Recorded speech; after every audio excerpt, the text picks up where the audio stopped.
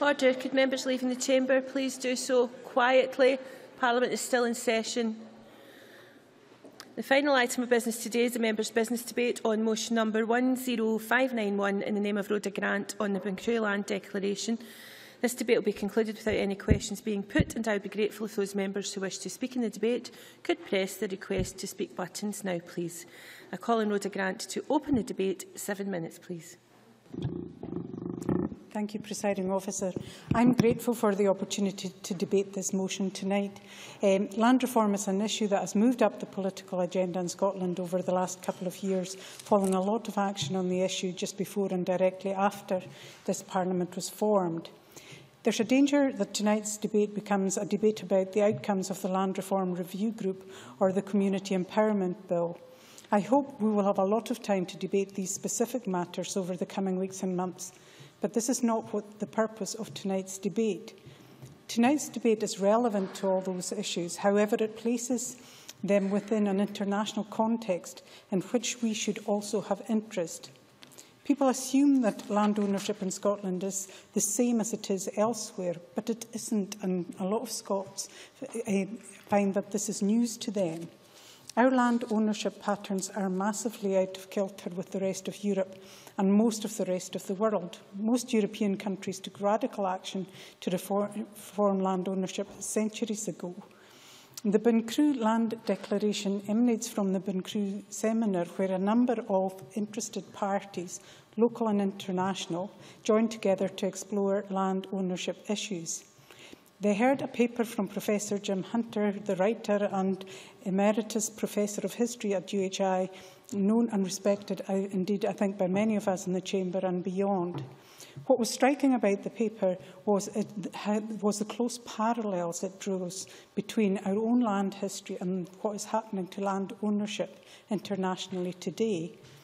At one part of his paper, Jim Hunter recounted the story of villagers in Gambela in Ethiopia being dispossessed of their land today, and the event mirrors uncannily events in Sutherland in the early 18th century, 1800s. Sorry. What happened today um, to many of the people, what, what's happening today to many people across the globe is as powerful interests force them off their land and deprive them of their principal means of existence, often with the connivance of their government, is strikingly similar to aspects of our own history.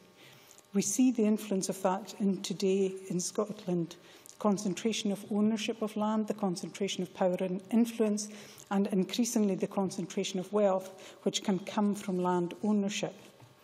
From our history, we know that despite the actions of successive governments back to the end of the 19th century, we are still debating land reform and the need for change today. We have over 150 years of legislation trying to bring about change to land ownership patterns, yet we are still debating and trying to make a decisive change. From our own experience, it's all too easy to see what faces the people in other parts of the world now fighting at the land grab that is going on in their communities. They too face a future where few will dominate the many, where a stake in the precious resource of land is limited or denied, where power and wealth concentrate as a consequence of land ownership patterns. It must be right that we in Scotland show some solidarity with these peoples. It must be right that we learn from them today what their land reform actions are about and what is working best for them. It is therefore right that we offer to share with them our own experience and insights, our policy and legislative actions and thinking on the subject. As Community Land Scotland have been discovering, our land debate is highly relevant to others, and their experience is also relevant in helping us confirm what our own thinking is, and, and it's legitimate within an international context. The Bunchrew Land Declaration highlights these points.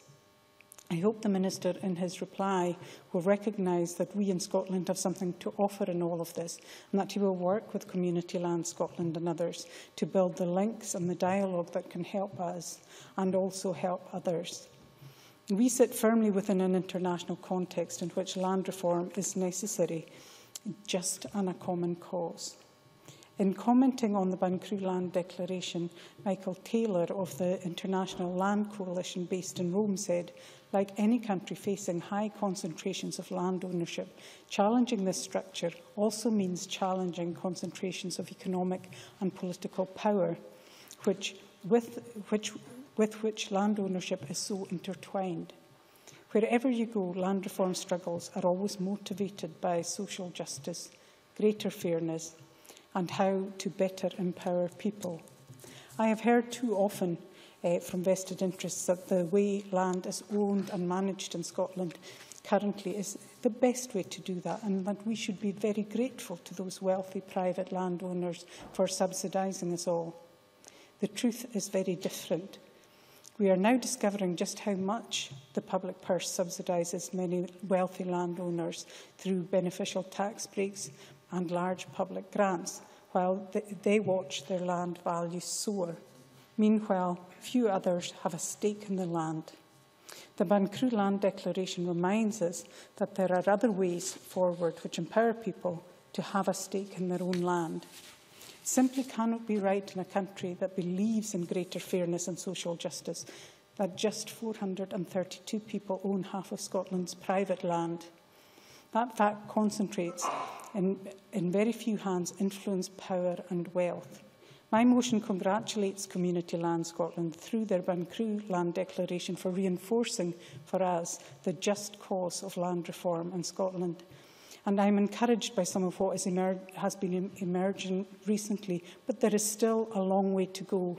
I hope the Minister in his reply will build on the theme he has been developing. I believe we agree that th there needs to be a fairer distribution of land ownership in Scotland today, and I hope we can unite around that ambition. Thank you very much. I now turn to the open debate. Speeches of four minutes, please, and I should be able to call everyone. Rob Gibson, to be followed by Malcolm Chisholm. Thank you, President Officer. Uh, Rhoda Grants to be congratulated on obtaining this timely debate. Community Land Scotland is the vision for a fair and equitable distribution of Scottish land, which chimes well with the final report of the Land Reform Review Group, the Land of Scotland and the Common Goods. This shows that achieving land reform cannot be by one simple formula, but it's incremental as each tranche adds to the application of the public interest test to all the land issues we face today. In my large constituency, there are examples which show a need for flexibility of approach. For instance, at Leckmelm, a formerly larger family estate of around 6,000 acres, uh, which saw much of uh, its hill ground sold off and the death of the father of the present owner, now sees the current owner seeking to enlist the support of the Ullapool Community Trust to see if the community would be interested in purchasing the hill ground of some 5,000 acre, which is again on the market.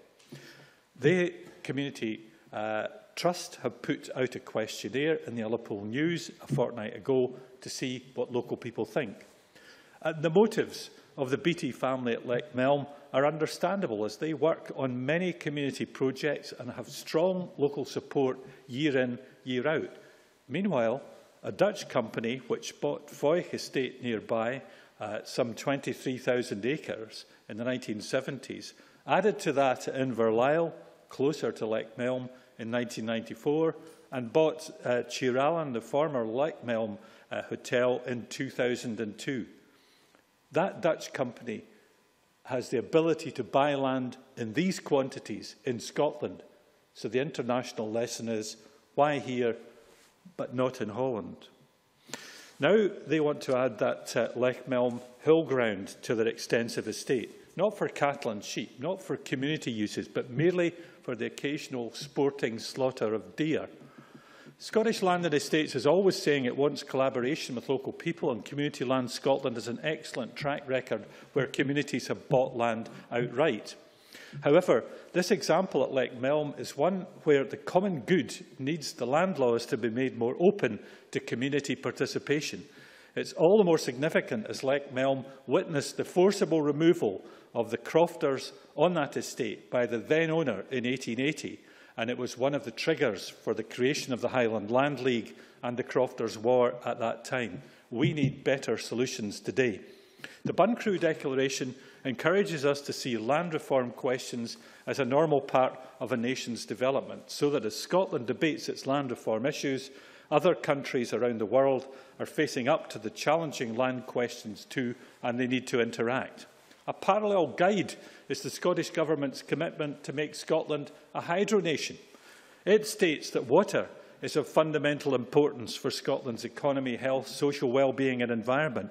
All businesses rely on water environment in some way or another, and water plays a prominent role in the success of many sectors of the economy. Some are of strategic importance to Scotland's economy, such as tourism, food and drink manufacture and renewable energy generation. It's absolutely the same with land, or even more so. We can learn from many other countries as to best practice on land reform, just as Scotland as a hydro nation will gain direct economic benefit and enjoy an enhanced international profile, so community land reform in Scotland can gain direct economic benefits for our people. Presiding officer, we should be aware of the urgency of, this reform. Farmland values have risen 223% in 10 years, according to Knight Frank, as reported in the Press and Journal on the 30th of June. Farm agent James Dean said there are uh, a lot of talk about the referendum, cap reform and land reform, but there is much more confidence in the market for agricultural land than you might imagine, particularly for good arable land. In contrast, the Financial Times weekend on Saturday, uh, the 2nd of August, in an article headlined The Twilight of Private Land Ownership, question mark, suggests that the referendum is making buyers back off. The author, Merryn uh, Somerset Webb, concluded Scottish landowners are used to the idea that what is theirs is not all theirs. The direction of travel has long been clear. The new bills and reviews just mark a step up in the speed of the transfer of power from landowners to perceived public interest. Could you draw so, to a close, please? Final, uh, with, with respect, uh, so irrespective of the referendum result, the property owners see land reform as coming. However, it would be so much easier with the full tax powers over land being exercised by the Scottish Parliament. That's what I suggested in an amendment to this original motion, uh, which was put forward earlier. It has wide MSP support. All in all, the time for land reform in the common good is here and now. Thank you. Malcolm Chisholm to be followed by Alex uh, Ferguson. Presiding officer, I congratulate Rhoda Grant on securing this debate and highlighting the uh, Bunchrew Land Declaration. The pattern of land ownership in Scotland is underpinned by generations of inequality and is shaped by many wealthy vested interests that effectively prevent an equitable system that truly benefits communities. The Declaration points out this lack of fairness uh, in land uh, distribution and reaffirms the commitment of Community Land Scotland to a fair but radical alternative. Community Land Scotland at present represents members managing roughly 500,000 acres of land, which contains up to 25,000 residents. These residents all stand to gain from the positive experience of engaging with and making the most of the land around them. As Andy Wightman points out in his publication, The Poor Had No Lawyers, Who Owned Scotland and How They Got It, half of the country's privately owned land is held by just 432 owners, and as few as 16 owners hold 10% of Scotland's natural land resources. This is quite simply uh, unacceptable. Ownership empowers communities and gives a greater sense of participation and inclusion, and we need only to look abroad to see examples of this. The Bunchrew Land Declaration states that, I quote, having explored the parallels with land reform internationally, Community Land Scotland has found that Scotland lags behind land reform interventions which in Europe delivered greater land justice in past centuries. This is the case in France, for example, where patterns of ownership of national forests differ enormously to the current inequitable Scottish situation. As it stands, over 44% of private forests in Scotland are over 100 hectares in size and account for over 94% of the forest area. The condition of tenure for workers and communities living on this land are determined by a relatively small group of people. By comparison, like elsewhere in Europe, French farmers are also foresters. This means that there are no big estates with tenants relying on a landlord's goodwill. At the same time, public forests are owned by local communities, giving a far more equitable outcome for all stakeholders. In Andy Wightman's article, Scottish Forestry Still in the Hands of an Elite, he points out that the reasons why Scottish private forestry is dominated by large-scale absentee landowners is partly down to established ownership patterns where a tiny elite possessed the land and all farmers were tenants. Until 2004, the law stated clearly that trees belong to the landlord, and so farmers have never been forest owners. As a result, huge swathes of prominent and valuable woodland are beyond the reach of community ownership, and this is something that has remained largely unchallenged. The declaration also touches on the human rights element of land reform, citing the Scottish National Action Plan for Human Rights for 2013 to 17. This seeks to increase people's understanding of human rights and their participation in decisions. The Bunchrew Declaration is correct to identify this as one key area that is yet to be properly discussed. The use of land directly affects the well-being of citizens and therefore current legislation on community empowerment should reflect human rights impacts. This starts with information. Both urban and rural communities have voiced a desire to know who owns the land around them, but as of yet, Scotland lags behind most comparable European countries in providing such data.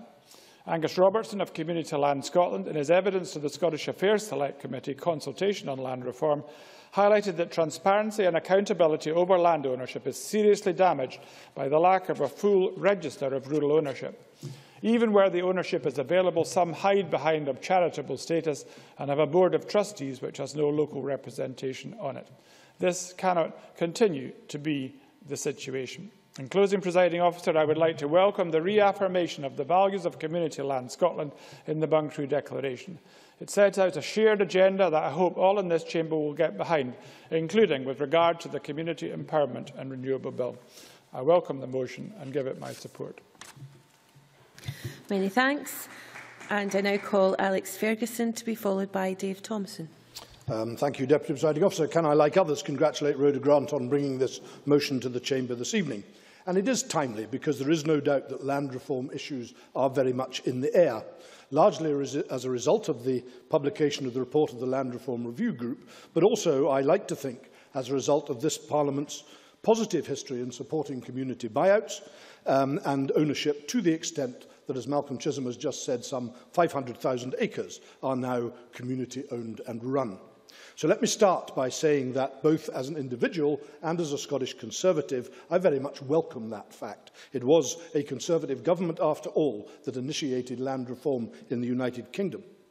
Indeed, we believe that true devolution doesn't and shouldn't end with the transfer of powers to Edinburgh. It must result in the genuine empowerment of communities, or it is surely meaningless. So it follows that community ownership of land has to be integral to the beliefs of those of us who embrace devolution, and I certainly number myself amongst those who do. But where I differ from some of the current thinking is how it seems to be being proposed uh, on how to promote increased community ownership as we take it forward. I believe strongly that successful community ownership results from local enthusiasm leading to local initiatives, to local decision making and local processes. And I also believe, equally strongly, that those processes should be based on entirely voluntary agreement. And the idea that any community should have a right to buy land without the agreement of a willing seller is one that I cannot support. And yet that is the route that is being proposed by the Land Reform Review Group, even I accept if it is only as a last resort at this stage. But even more concerning to me and from my perspective is the degree of centralisation of the process that has been proposed. Three new government agencies to be set up to oversee the policy is as fine an example of centralised overkill as I've ever seen. And I cannot understand the logic of a centralised government agency having the right, never mind the ability, to determine whether or not a proposed community buyout is able to deliver the degree of public benefit that will apparently be required if the large amounts of taxpayers' money that will have to be provided to finance these ventures is to be sanctioned. There, has to, there surely must be better ways of doing that than simply setting up three new quangos. Community ownership is, I believe, a really positive thing, presiding officer, but let's keep it voluntary and let's keep it local, because I think that way results in land reform with harmony rather than land reform with divisiveness. And that surely has to be the preferred outcome.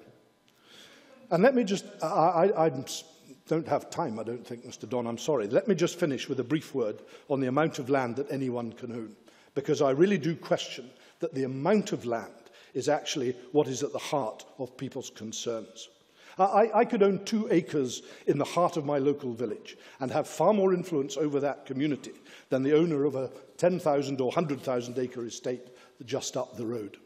I would and I will, as this debate goes forward, argue that the real issue is not about how much land people own. It is about how that land is used.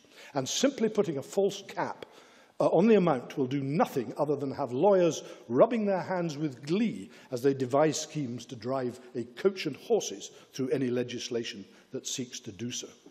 Many of the Land Reform Review Group's recommendations, which are largely endorsed by the Bunchrew Declaration, are, are very well intentioned, but I do believe that some of them are ill thought out. As I said earlier, land reform and community ownership can and should result in positive and progressive outcomes, not just for the communities themselves, but for the whole country. And that will only be achieved if the proposed elements of compulsion and state interference are removed from the proposed equation. I expect no applause, presiding officer, but I thank the Chamber for its time. Thank you. I now call Dave Thompson to be followed by Claudia Beamish. Uh, thank you, presiding officer. I too would like to thank uh, Rhoda Grant for securing this important debate. The publication of the Bunchrew Land Declaration is an important contribution towards establishing new land ownership patterns in Scotland for the common good and in the public interest. Community Land Scotland also deserve our thanks for the work they are doing on this vital issue. Fundamentally, land is a God-given finite gift which must be used for the benefit of all. I'm confident that any moves towards more people-centred land governance will meet with majority support in this chamber. And I urge Labour in particular to put aside party politics and join with those of us who are in favour of land reform to promote meaningful change. And I must say I was encouraged by Rhoda Grant's call for working together on this. Uh, but there is a challenge. The Bunchrew Declaration recognises that Scotland's land reform journey is behind most of Europe where more equitable patterns of land ownership have been delivered in recent centuries. As Rhoda Grant and Malcolm Chisholm said, over half of Scotland's private land is owned by just 432 people, with 10% owned by 16 individuals or groups, which means that Scotland has one of the most unequal patterns of land ownership and Europe, in Europe. And I don't think we can say this often enough. We, Labour and the SNP recognise that the declaration is a positive step and we are in agreement that patterns of land ownership in Scotland are not fit for a modern nation and we have to build on that. The declaration is positive and is an embodiment of intention that is notable and is a strong marker on the Scottish land reform road. This is why I'm confident that we will unite with Community Land Scotland in the coming years to bring the ideas contained within the Declaration to fruition. But we as a Parliament also have to be honest about how we are going to do this. And it would be remiss of me not to mention that Westminster still makes many decisions for us, such on, as on postal privatisation and renewal of Trident nuclear missiles, which are not supported by this chamber. Westminster also decides, as Rob Gibson has said, on most aspects of taxation. And because the tax system plays an integral role in perpetuating our unfair concentrated pattern of large-scale private land ownership, it will need amending if we are to make a real and lasting difference. This is unlikely to happen, despite the sterling efforts of the Westminster Scottish Affairs Committee. The problem is that the establishment in London, the millionaires in the Cabinet, and particularly the House of Lords will make it impossible to enact the type of radical reform we seek. Members of the House of Lords, especially, will always vote in the interests of their own kind. who have a vested interest in vast swathes of Scotland's land and in keeping things as they are. Members know what the answer is. We can eradicate the House of Lords at the stroke of a pen and take our taxation system into our own hands on the 18th of September. This will set us upon a true path to realising the aims of the Bunchrew Declaration, and I hope on some level this notion chimes with members of the Chamber who are ordinarily against independence. I'm sure that a majority in this chamber do believe that there should be a fair distribution of land so that communities are able to fulfil their aspirations. But we must be honest about how we achieve this. Finally, we owe it to the people of Scotland to make sure we make progress by advancing the principles of fairer patterns of land ownership, as laid out in the Bunchrew Declaration, and by removing any blockages such as the House of Lords, that prevent us from doing that? The answer is in Labour's hands, but do they have the courage to grasp it? Thank you. Call Claudia Beamish to be followed by Jean Urquhart. Thank you, Presiding Officer. Uh, I want to support all that Rhoda Grant has said in opening this debate. Of course, the land ownership question is fundamental to a fairer Scotland. It does sometimes still feel that as if the land debate is just a Highlands and Islands thing, though. But the question of land reform has a resonance and relevance for the region that I represent, South Scotland, which the Minister also represents. We have much to learn from Highlands and Islands and seek to involve more and more communities in the real future of their land. The fact that the Highlands and Islands has had high as an economic and social development agency for close on 50 years shows that the capacity of their communities, but also the support systems in place And I hope the Minister will agree with me that within Scotland there is more we can do to share best practice. And um, I'd have to disagree with Alex Ferguson and say that I hope the Minister will also agree with me that the new agencies proposed or similar models will, I hope, offer local communities support and are not about centralisation. However, tonight I want to focus principally on matters originating from beyond Scotland's shores, which have relevance here and, I believe, can give us strength and confidence in our policy actions. I'm not referring here to human rights considerations. I want to concentrate on one particular international agreement signed up to by the current UK government, indeed.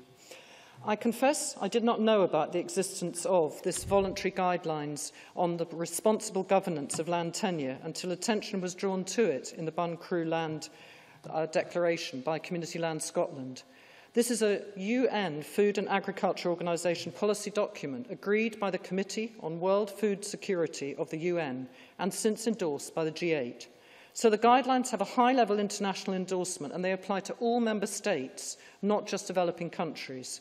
What the guidance does do, and I quote, is to improve tenure governance by providing guidance and information on internationally accepted practices for systems that deal with the rights to use, manage and control land. So they are about, I quote, internationally accepted practices now recommended for consideration by nation states in the development of land policies. The guidelines are voluntary, but they carry the weight of official endorsement at the most senior international levels. They set out helpful policy principles and they cover government-owned land as well as other ownerships, which members have raised, highlighted today. On government land, they state Where states own or control land, fisheries and forests, they should determine the use and control of these resources in the light of broader social, economic and environmental objectives.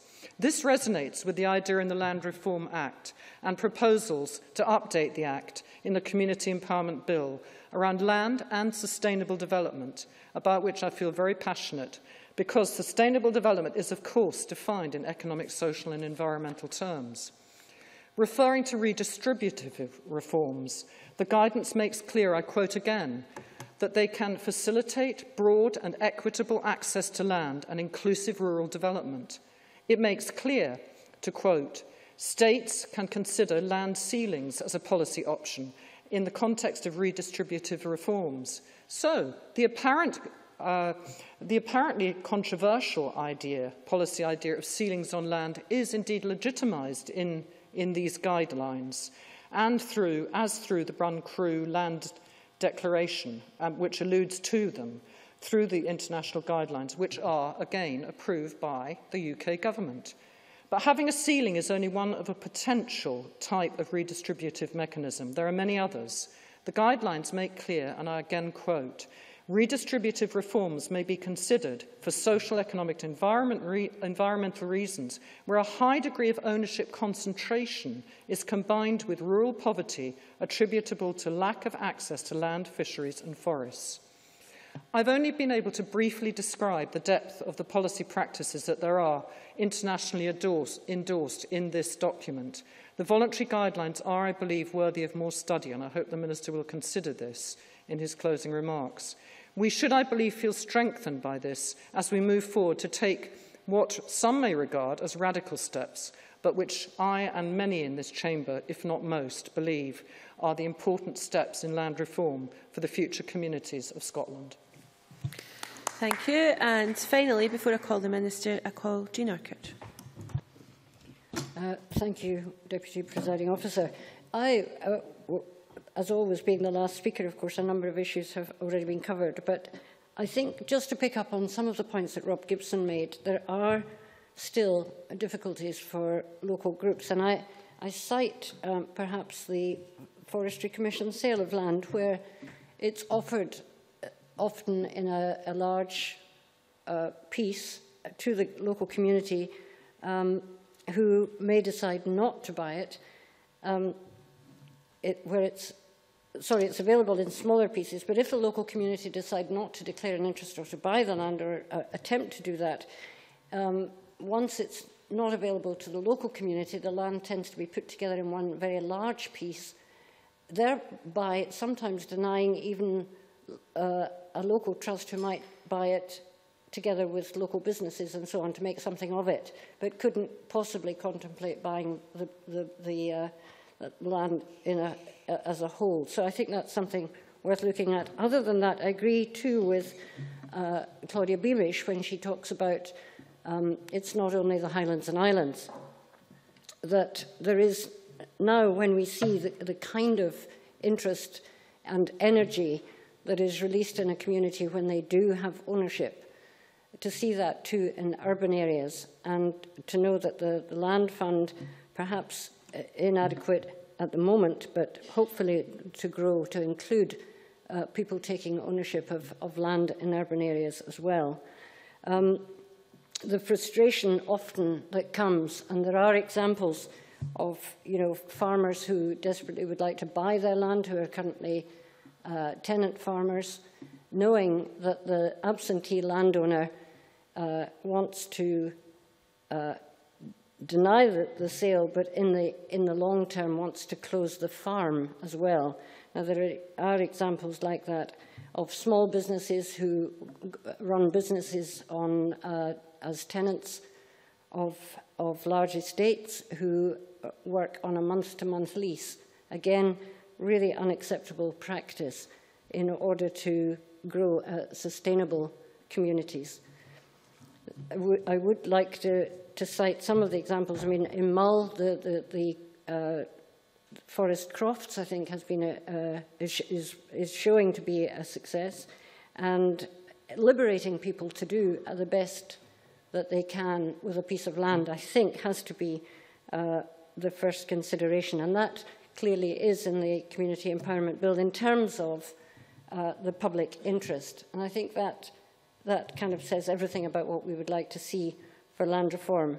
And finally, just really to congratulate uh, David Cameron, not that David Cameron, but David Cameron, the chair of Community Land Scotland um, from Harris, not from uh, London, um, and Peter Peacock uh, of late of this Parliament, of course, in the work that they have done and they uh, brought about the Bunchrew Land Declaration, I think it, I personally agree with uh, just about everything that's in it.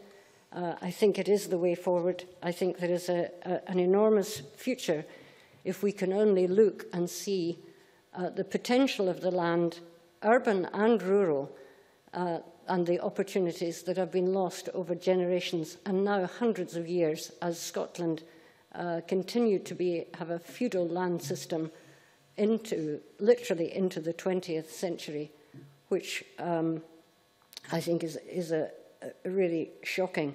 So let's see uh, everything, I think, or acknowledge the Bunchrew Land Declaration and its worth, and really acknowledge and thank Rhoda Grant for bringing this debate to the Parliament. I think it's timely, I think it's right, and uh, I think we can start to become very excited about the potential of land ownership in Scotland. Thank you.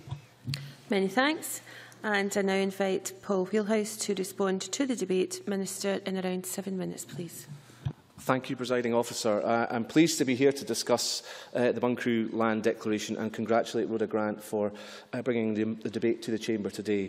And I'll say more uh, about why I think it's the right time for this debate. The Bunchrew Land Declaration by Community Land Scotland in March this year tells an interesting story, as we've, we've heard. It also tells a story that brings us full circle almost. Uh, the international human rights community has been debating community land rights for some time now. This debate has, uh, to date at least, been driven by a recognition in many developing countries where communities have already exercised collective ownership of land and have managed the land sustainably in the interests of the whole community, that these collective rights have had to give way to modern individual property rights. In these countries, often these property rights have been taken up by large interests wanting to own and extract mineral wealth. Uh, however, in the process, they have displaced local communities, dispossessing them of both their land and, importantly, their futures. In an endeavour to start, the, start to protect community uh, land rights, the international community have been drawing up guidelines uh, to help encourage countries to take action where communities are losing these collective rights. This international story has resonance here in Scotland, and I believe Scotland has a lot to offer to this debate, the point that was made earlier on, I believe, by Rhoda Grant. Many of Scotland's crofting communities will relate uh, to the current stories unfolding in the developing world. They have a long history of struggle and legislative changes from the late 19th century through to the present day. And these have resulted in a succession of legislative reform and security of tenure. These serve to protect the interests of their inhabitants and more widely their communities. I, and I hope colleagues across the Chamber uh, will agree with me that this reform has made a real difference. There have, also been rights established for other rural communities throughout Scotland. Some of them, such as the community right to buy, which has been referred to by a number of members, are innovative and can make a real difference to the futures of communities that use them. The determination of communities in Scotland to own and manage the land on which they live and work has led to roughly half a million acres of land in community ownership today. And in the last year alone, more than 38,000 acres have come under community ownership. There are another 100,000 acres in the pipeline at the moment, which is very encouraging. And however, Scotland is not the only country that is working to restore community land rights. Where examples exist, there is growing evidence that community landowners place a far greater emphasis on sustainability and the environment. These really are key drivers to community as well as national uh, success and prosper prosperity. And New Zealand is another prime example where this happens. I would like Scotland's community landowners, with their rich and long experience of rural and community development, to be willing to share their experience internationally and to help communities at the start of their struggle in other countries. I'm already aware that the 1 million acre target set by the First Minister in June uh, 2012, which would see us move from around 2% to around 5% of Scotland's land under community ownership, is being held up as an example in the international debate on community land rights. So I would therefore like again to thank Rhoda Grant for putting uh, forward her motion, uh, record my agreement with the motion and congratulate Community Land Scotland on the publication of the Bunchrew Land Declaration. I've already been clear that this government is committed to progressing land reform in Scotland, both when I spoke at the Community Land Scotland conference in June and also when I appeared before the Rural Affairs and Climate Change and Environment Committee uh, thereafter. I want to take this opportunity to reiterate that commitment. My vision uh, is for a fairer, wider and more equitable distribution of land in Scotland.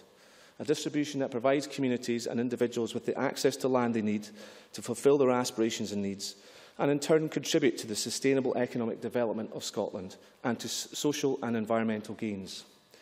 So we have a target of 1 million acres, or 5% of land, in community ownership by 2020. It's certainly an ambitious target, but it's also, I believe, a really inspiring one. This is a target that all of Scotland should be engaged in. We need communities to think about whether community ownership of land or an asset make a real difference to their community and its success. We need the public, private, third and community sectors to work together to make sure we get the best from our land. The target of 1 million acres in community ownership is sometimes portrayed as pro-community and anti-private ownership, and this isn't the case. Uh, as the concentration of ownership decreases, there will, I believe, be more room uh, for community owners and more private owners. And I do agree with Claudia Beamish that it's also clear that land reform in Scotland is not something solely for the Highlands and Islands or for indeed rural Scotland. It is for the whole of Scotland, and we need to take land reform into urban areas, There are already numerous examples where community ownership of land has made a real difference in such areas, and we want to encourage urban communities and those in our larger rural settlements uh, to become involved and fulfil their potential too. We also want urban and rural communities to be able to tackle abandoned and neglected land, a real hindrance to the sustainable development of land on which communities have a connection. The Community Empowerment Scotland Bill will take forward some key steps that can make a real difference, but further action is needed, and that's why I have announced that I will be seeking to bring forward a land reform bill during this term of Parliament. I have said it before, uh, and indeed other members have referred to it, but we would perhaps not just uh, design a system where 432 landowners, or indeed 0.008% of Scotland's population, would own half of the privately owned land in Scotland. That's not to denigrate the individuals who own that land. This is not about um, politics of envy. But we're not aware of any other modern democracy where such a pattern of land ownership pertains. So I just want to refer, in the time I have left, to a number of points that have been raised by members. Uh, certainly, in response to Rhoda Grant, we look to work with Community Land Scotland and others to take forward this agenda. Uh, to Rob Gibson, who referred to the uh, hydronation, I think that's an important principle uh, to, to an extent that all of us depend to one extent or another on land for our well-being. Uh, and of course, the environment depends on it too. I believe that the point that Malcolm Chisholm made about um, uh, the, the concentration of ownership of, of forestry, uh, certainly it is true we have a highly concentrated uh, pattern of ownership of forestry, but we are taking forward initiatives such as woodlots to explore how communities can, and individuals can, can lease uh, forests to manage, and indeed the Forestry Commission Scotland National Forest Land Scheme is a means by which we can transfer ownership of forests to communities. And to pick up uh, Jean Urquhart's point, which is a fair one, about the pattern in which the land has been disposed of, we are trying to explore means by which we can have smaller packets of land in the, in the sale, uh, most recently in the barracks uh, sale, which is in uh, the Rannoch area of Scotland, to try and give opportunities for smaller plots to be bought. uh, Alex Ferguson, I think, uh, raised the point about community empowerment, and I welcome his support for that. And I hope there are aspects of the Community uh, Empowerment Scotland Bill that the Conservatives can support, and we look to work with Alex and colleagues in the Conservatives on finding common ground where we can and take that forward. Dave Thompson called for unity with the opposition parties. I genuinely believe we can achieve this on land reform, and I certainly look forward to working with the Labour Party and others in due course. And I agree with Claudia Beamish on uh, the support systems that High produce. Uh, has been very influential in promoting uh, community land projects in the Highlands and Islands. Uh, Presiding officer, my aim for land reform is to address the situation that we face in Scotland by ensuring the patterns of ownership and use of land in this country delivers the maximum benefit to the people of Scotland. I hope, and I have expressed this to our stakeholders, the Land Reform Review Group's report has given us the opportunity to take land reform away from the old polarised arguments and to, may take it into the 21st century. Rhoda Grant is quite uh, correct in saying we will have many opportunities to debate this in due course. The Scottish Government looks forward to working with Parliament and having the support of parliamentary colleagues for both the Community Empowerment Scotland Bill and the Future Land Reform Bill. Thank you very much. Many thanks, Minister. That concludes Rhoda Grant's debate on the Bunkeroo Land Declaration, and I now close this meeting of Parliament.